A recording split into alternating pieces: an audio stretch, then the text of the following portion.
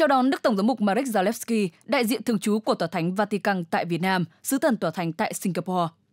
Như tin đã đưa, ngày 23 tháng 12 năm 2023, Đức Giáo hoàng Francisco đã bổ nhiệm Đức Tổng giám mục Marek Zalewski làm đại diện Tòa Thánh Vatican thường trú tại Việt Nam. Theo chương trình, ngày 31 tháng 1 năm 2024, Đức Tổng giám mục đại diện Tòa Thánh sẽ trở lại Việt Nam sau khi được bổ nhiệm.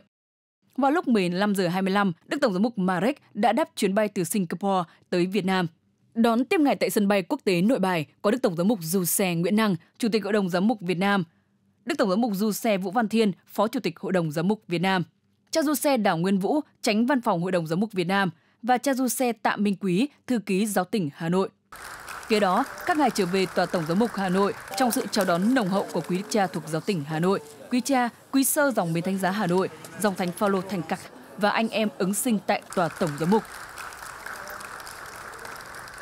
Đại diện cho Hội đồng Giám mục Việt Nam, Đức Tổng giám mục Du Xe Nguyễn Năng đã bày tỏ niềm vui khi được chào đón vị đại diện tòa thánh trong một cương vị mới. Đồng thời, Đức Tổng giám mục Du Xe cũng cầu chúc những điều tốt đẹp nhất sẽ đến với ngài trong chặng đường kế tiếp.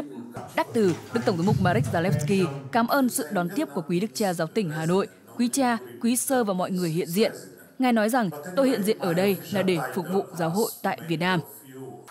Sau những giờ phút thăm hỏi, Đức Tổng giám mục Marek cùng dự bữa tiệc huynh đệ với quý đức cha và sẽ đến nhận văn phòng tại tòa nhà Pan Pacific số 1 đường Thanh Niên, quận Ba Đình, Hà Nội.